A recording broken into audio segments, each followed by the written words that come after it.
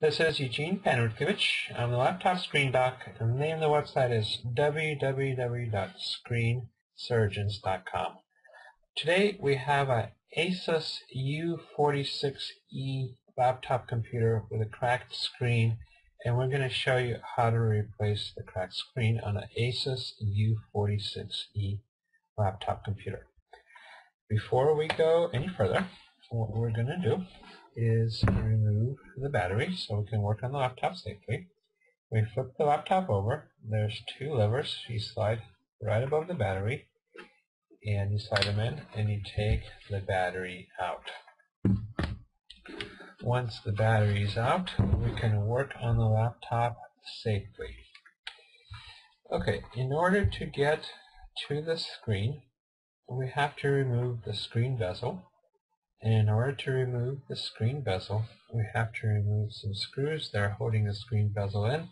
And then these are hidden by some rubber and plastic covers. There's two down here, two on the side, and two on the top.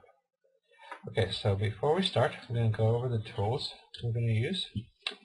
A small electronics screwdriver with a PH1 bit. PH stands for Phillips, 1 stands for size.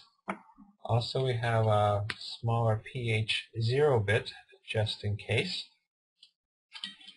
We have an X-Acto knife with a pointed blade to remove the screw covers and a pair of metal tweezers to remove screws that are stuck. Alright, let's get started. So the first order of business is to remove the screw covers. We use our X-Acto blade for that. As soon as I remove this one, I see there's no screws there. So I'll put it back on. And let's see up on top. There's no screws on top. So I was wrong about the number of screws. And let's check the plastic screw cover on the bottom. And indeed there are screws down here. One and two. So our job just got a little bit easier we have to remove two screws instead of six. But it's always a good idea when you see some sort of rubber cover, looks like a screw cover on a screen bezel, always remove it to make sure that there's no screw behind there. Okay, so we remove one screw and we use our tweezers to take it out and remove the second screw.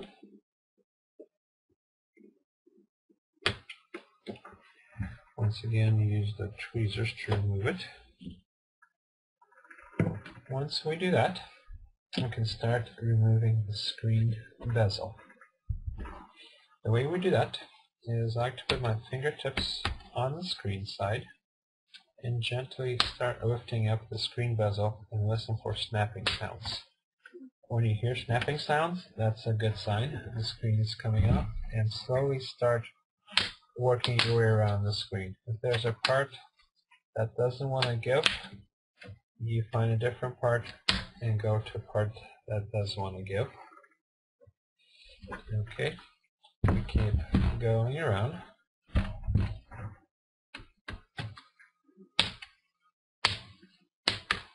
Like so.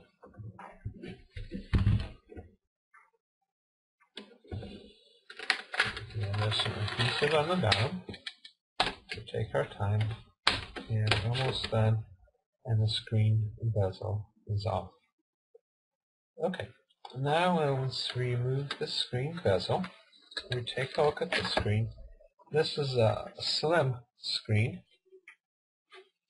and what we need to do is find where the screws are.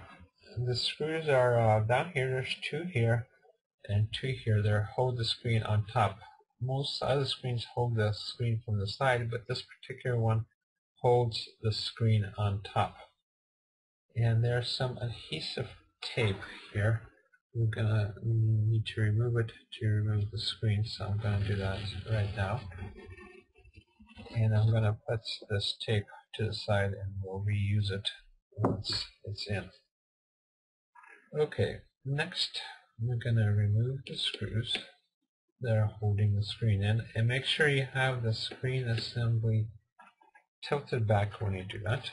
And when with each new set of screws that you remove, make sure you keep them in a separate pile so when we put things back together we don't get confused. So three and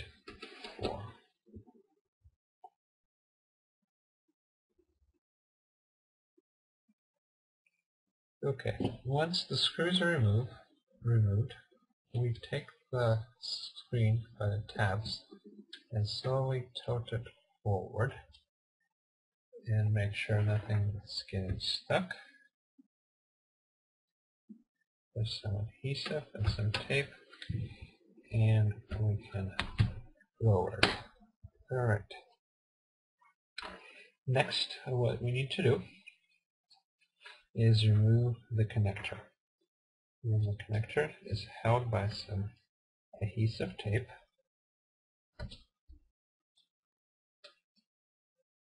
So we lift up the adhesive tape,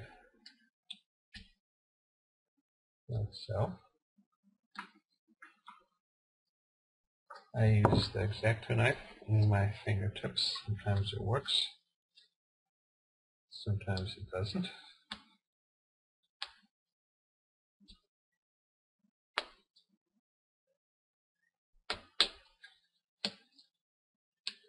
we lift it up